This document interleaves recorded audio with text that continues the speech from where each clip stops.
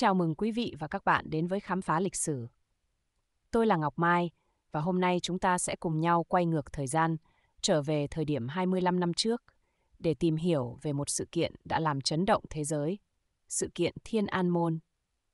Thú thật là hồi nhỏ, tôi chỉ nghe loáng thoáng về sự kiện này và cũng không hiểu rõ tầm quan trọng của nó. Vậy nên hôm nay, tôi đã mời đến chương trình một vị khách mời đặc biệt, chuyên gia lịch sử hiện đại, tiến sĩ Nguyễn Quốc Bảo. Chào anh Báo. Chào Ngọc Mai và chào quý vị khán giả. Rất vui được tham gia chương trình hôm nay. Thật tuyệt vời khi có anh ở đây hôm nay.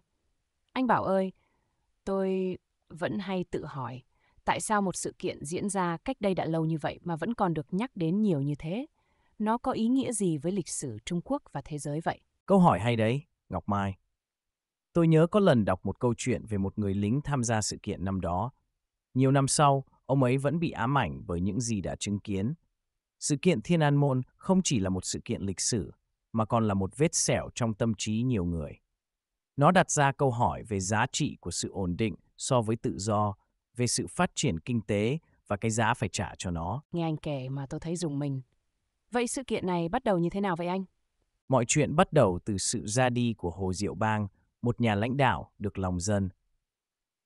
Cái chết của ông đã khơi mào cho những cuộc biểu tình rộng khắp, đòi hỏi dân chủ và chống tham nhũng. Ngọc Mai thử tưởng tượng xem, hàng ngàn sinh viên tập trung tại quảng trường Thiên An Môn, trái tim của Trung Quốc, để bày tỏ nguyện vọng của mình. Một hình ảnh thật mạnh mẽ phải không? Thật sự rất ấn tượng.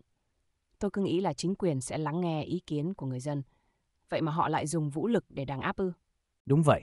Ban đầu là sự im lặng, sau đó là thiết quân luật, và cuối cùng là bi kịch tại giao lộ Musidi. Quân đội đã nổ súng vào dân thường. Con số thương vong đến nay vẫn còn nhiều tranh cãi, từ vài trăm đến vài nghìn người. Nhưng điều quan trọng hơn cả con số, đó là nỗi sợ hãi và sự im lặng bị áp đặt lên người dân sau sự kiện này. Điều này thật kinh khủng. Tôi không thể tin được là chuyện như vậy có thể xảy ra. Vậy phản ứng của thế giới lúc đó như thế nào thưa anh? Đáng buồn là phản ứng của thế giới khá nhẹ nhàng.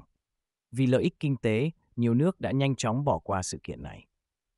Đặng Tiểu Bình đã từng nói phương Tây sẽ quên và ông ta đã đúng. Các lệnh trừng phạt chỉ mang tính hình thức và dòng vốn đầu tư vẫn tiếp tục đổ vào Trung Quốc. Thật sao? Điều này thật đáng buồn. Vậy sự kiện này đã ảnh hưởng đến Trung Quốc như thế nào trong những năm sau đó? Sự kiện Thiên An Môn đã củng cố quyền lực của Đảng Cộng sản. Nó gửi đi một thông điệp rõ ràng, không được chống đối nhà nước. Sự kiện này cũng mở đường cho những cải cách kinh tế mạnh mẽ, biến Trung Quốc thành công xưởng của thế giới. Nhưng đồng thời, nó cũng tạo ra một xã hội bất bình đẳng, nơi mà tiếng nói của người dân bị kìm nén. Vậy là sự kiện Thiên An Môn vừa là một bước ngoặt lịch sử, vừa là một bi kịch cho người dân Trung Quốc. Tôi thấy mình đã hiểu hơn về sự kiện này rồi. Cảm ơn anh Bảo rất nhiều vì những chia sẻ quý báu ngày hôm nay. Cảm ơn Ngọc Mai, hân hạnh được trò chuyện cùng Ngọc Mai và quý vị khán giả. Quý vị và các bạn vừa lắng nghe câu chuyện về sự kiện Thiên An Môn, một câu chuyện đầy xót xa nhưng cũng rất đáng suy ngẫm. Hy vọng rằng qua câu chuyện này, chúng ta sẽ hiểu hơn về lịch sử và trân trọng hơn giá trị của tự do và dân chủ. Xin chào và hẹn gặp lại quý vị trong những số tiếp theo của khám phá lịch sử.